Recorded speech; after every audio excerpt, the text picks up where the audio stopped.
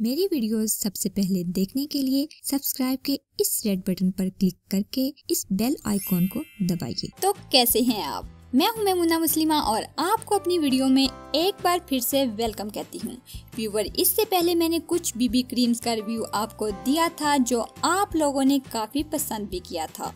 इन creams के साथ ही मैंने कुछ प्राइमर्स भी रखे थे कि आपको उनके मुतालिक भी कुछ बता सकूँ। लेकिन वीडियो की ड्यूरेशन ज़्यादा होने की वजह से बता नहीं सकी। सो आज एक शॉर्ट सी वीडियो लाई हूँ, जिसमें आपको इसके मुतालिक बताऊँगी। मार्केट तरह तरह के प्राइमर्स से भरी पड़ी है।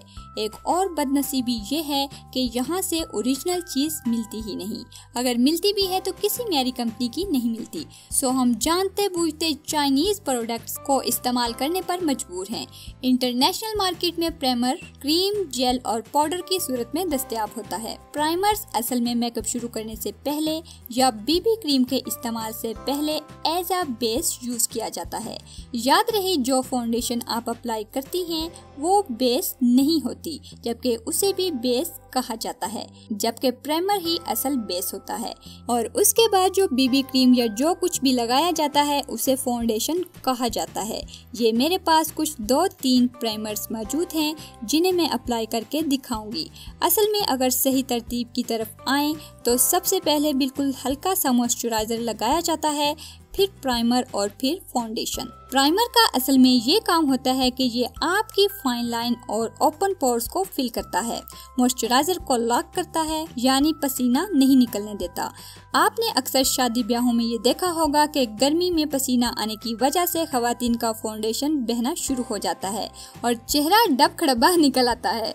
सॉरी फॉर डैट ये सिर्फ़ इसी वजह से होता है कि फाउंडेशन से पहले किसी अच्छे प्राइमर को एज आ बेस यूज़ नहीं किया जाता। दूसरे नंबर पर मेकअप को फिक्स करता है, यानी मेकअप को ज़्यादा देर तक कायम रखता है।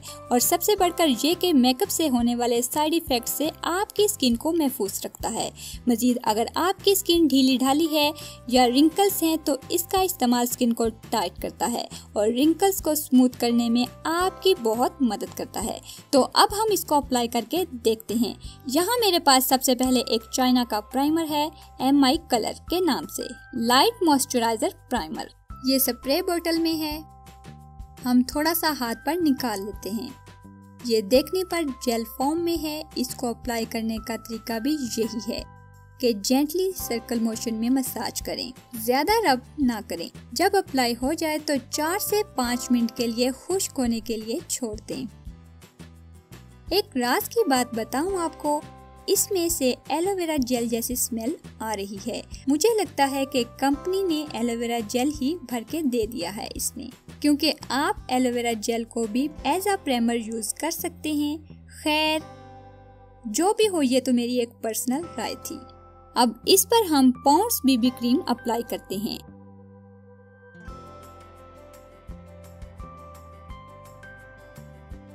आप देख सकते हैं कि फाउंडेशन यूज़ करने पर बिल्कुल स्मूथली अप्लाई हो गया है और दोनों हाथों का फ़र्क भी देख सकते हैं।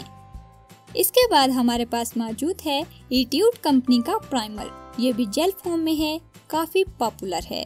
स्प्रे बोतल में है और काफ़ी यूज़ किया जाता है। इसके बाद एपी के है। Matte face primer oil free है और पाकिस्तान में होते हुए काफ़ी अच्छा प्राइमर है।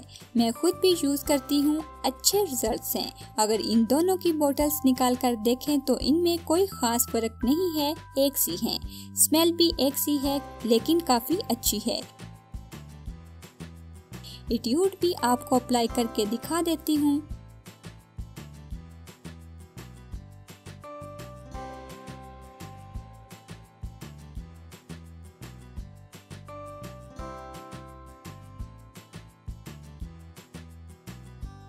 और इसके बाद ए पी के भी अप्लाई करके दिखा देती हूँ। मजीद अगर आपकी स्किन ऑयली है और चेहरे पर पसीना ज़्यादा आता है तो ये आपके लिए बहुत ज़बरदस्त चीज़ है। इसकी एक खास बात यह भी है कि स्किन को टाइट करके ओपन पोर्स को ठीक करता है। आप मार्केट में से इट्यूड या एपीके का प्राइमर ले सकती हैं और यूज़ कर सकती हैं। इनकी कीमत मार्केट में 400 से 500 रुपए है। अगर बाज़ार से नहीं ले सकती तो एलोवेरा जेल यूज़ कर लें या फिर आपको घर पर ही प्राइमर बनाना सिखा दूँगी। सो व्यूवर्स तो देखते रहिए और सीखते रहिए वो बातें जो कोई नहीं बताता। उम्मीद करती हूँ वीडियो आपको पसंद आई होगी तो वीडियो को लाइक करना मत भूलिए। सब्सक्राइब के इस रेड बटन पर क्लिक करके इस बेल आइकॉन को दबाइए।